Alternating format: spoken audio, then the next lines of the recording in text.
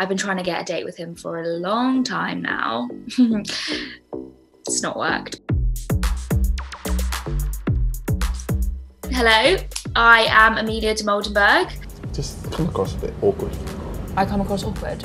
And here are some of my tips on how you can stay healthy, things you can do to exercise, and some things to entertain yourself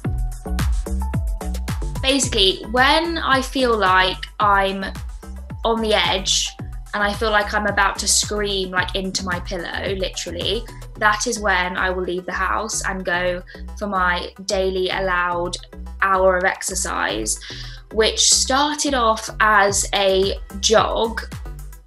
But I actually hate running. Just a quick update to say that running sucks. Running is literally the worst thing ever invented. Like, where am I even going? So now I will walk around the block to the park and back as my exercise. I honestly think it's you have to use that hour of exercise every day just to get out of the house because I feel like being inside sat down all day is just mainly not good for your mental health. Time well being down, let's get the show on the road. Right, let's crank the tunes up everyone.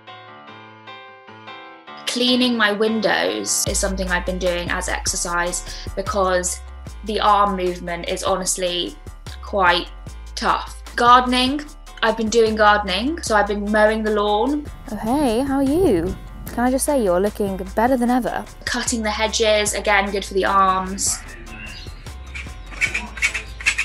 Bending down to pull weeds out, it's basically a burpee. I feel like I'm just not the kind of person that could ever be good at sport but I would love to be a gymnast. And I always daydream about being able to like cartwheel into parties and like events. I've just finished watching Cheer on Netflix and I just think it's the most incredible show I've ever seen. I could get Jerry from Cheer to Mat Talk me. I feel like everyone in lockdown needs a bit of Jerry's Mat Talk. Always keep an attitude of gratitude and always be strong because at the end of the day, we got this.